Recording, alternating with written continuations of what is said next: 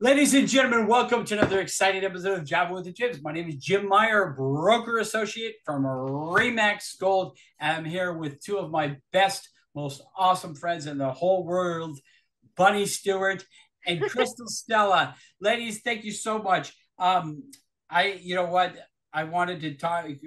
Every day we talk about my coffee and my good friend Jim Felipe, who is on a fact-finding mission in the Bahamas right now. He usually Ooh. asks me uh, I'm lying. I just made that up. Um, he always asks me, he says, Jim, how's your coffee today? I'm going to say, my coffee is so powerful and so strong and so honest that it's been shadow banned by YouTube. That's how honest it is. Um, so, Crystal and Bunny, thank you so much for coming back. Yesterday, we talked about something that's called recovery. The two of you have not been drinking or doing drugs or, anything illicit for many years, and you are good, uh, successful members of society, and you're very inspirational. How long has it been like this? Um, well, for me, I just celebrated seven years, uh, May 25th.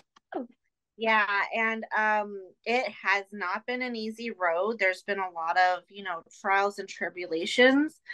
But one thing that I have done uh correctly is not put in no matter what. No matter what I'm going through, if it's, you know, a frustrating thing, things, you know, that happen at work or like a family the death of a family member or close loved one um, I've gone through a lot of life on life's terms type of situations.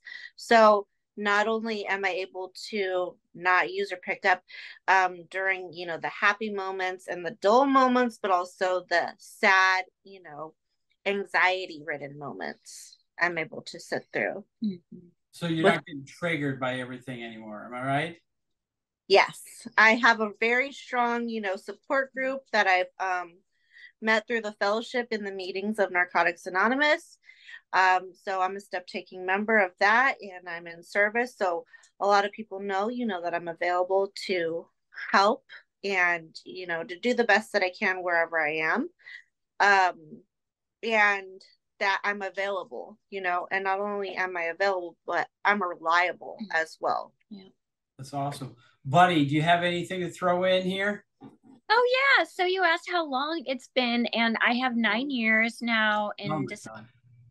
And um, yeah, it's it's being sober. It's it's really different, but mm-hmm. it's so rewarding. And yeah, one of the biggest benefits is to get to work with other people. Right. Um, both trying to get sober, but then also meeting people like Crystal. I've seen this girl just work through so many hard things and just not drink no matter what it's it's um it's a pretty incredible way to live. So yeah people can can reach out to me too um and they can find me at aa meetings or facebook.